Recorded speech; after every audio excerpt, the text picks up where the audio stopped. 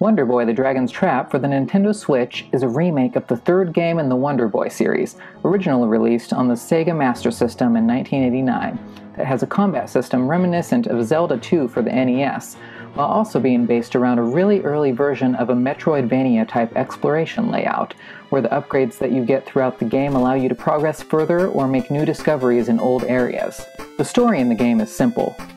You are ending your adventure at the end of Wonder Boy 2, and when you face off against the last boss and defeat him, you are cursed and turned into a fire breathing lizard.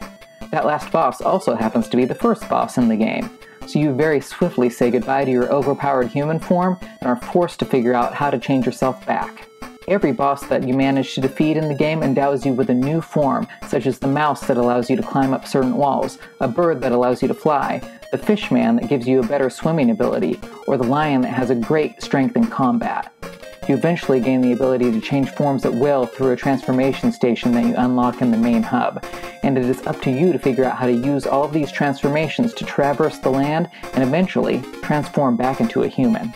The redone graphics in this game are beautiful, but it's a really nice touch that the designers were able to let you switch back to the original game's graphics and music on the fly. The graphics are definitely what drew me in and are actually one of the best aspects of the game, but they may be a bit misleading. Modern graphics does not mean modern design philosophy. This game is very loyal to its roots and plays like a game back in the 80s would have, which means that there is pretty much no direction of where to go or what to do next, and the difficulty can sometimes be frustrating. With all of that in mind, I have to say that this game is not for everyone. There were times where I was enjoying myself, exploring and looking for secrets, but at the same time, there were many occasions where I was pushing myself through the game so I could review it, when I would have rather been playing Breath of the Wild or Mario Kart 8 Deluxe, and I think that's very telling.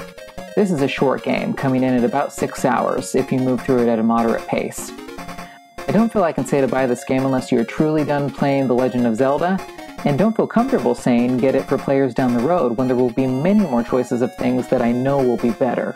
The people who will like this game are probably people who played the original and may have some nostalgia for it, and thus really like the slick new paint job. Or, if you really enjoy retro games, this could be for you.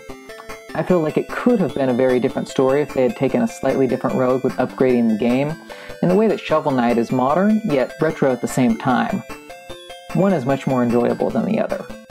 I was really on the fence about purchasing this game, but the graphics eventually won me over. If I were to go back and talk to myself about whether or not it was worth the money, I would probably say no, to be completely honest, and wait for the next big release. What do you think of Wonder Boy the Dragon's Trap? Let me know in the comments. Did you find this review helpful? Please like and subscribe, and stay tuned for more Nintendo Switch game reviews in the near future. Thanks, guys.